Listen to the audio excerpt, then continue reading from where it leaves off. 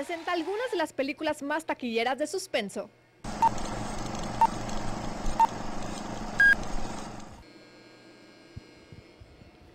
Cole, un niño de 8 años, oculta un terrible secreto. Su mente se ve amenazada por terribles espíritus. Sexto sentido. En ocasiones veo muertos.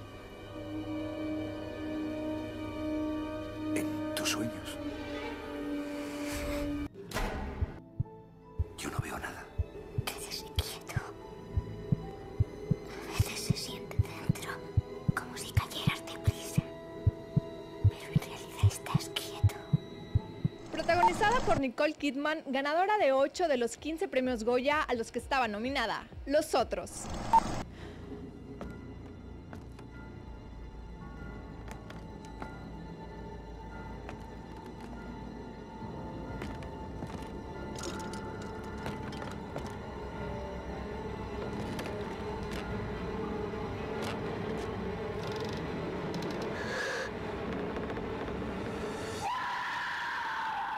Película ganadora de las más prestigiosas categorías como Mejor Actriz y Mejor Actor en los Óscares, El Silencio de los Inocentes. But in order to track him down, she'll have to match wits.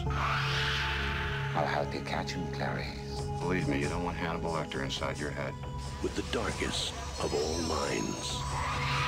Just do your job, but never forget what he is. Oh, he's a monster. Pure psychopath. So rare to capture one alive. El Orfanato, película española más taquillera en el año 2007. Además, segunda mejor película más taquillera en la historia.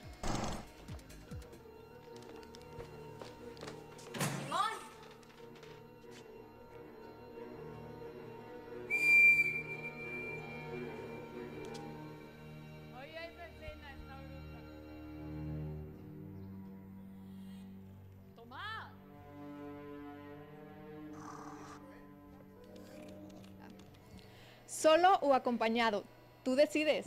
Estas son las recomendaciones a la vanguardia. Soy Janet Mendoza la ardillita. A la vanguardia. Me encanta, a mí me encanta ver estas películas, la verdad. Yo no sé por qué, no sé si es masoquismo o qué, pero el rollo es poner toda la ambientación, apagan las luces, Palomitas. palomitas, No claro, y aparte de eso, le prendes a un aire, aunque sea un abanico, y un cobertorcito por aquello que te Oye, tiren las patas. ¿Pero sola o acompañada? No, no, pues si no, entonces a quién muerdes. Ah. A mí sí no me gusta verlas solas, de verdad. No, si no, no, no. no puedo dormir. Ah, la- sí, ese es el pretexto. ¡Ah! No, lo que le quiero decir es que estas opciones están padrísimas. Mire, la del orfanato, donde grita, Tomás, Tomás, que andas por ahí.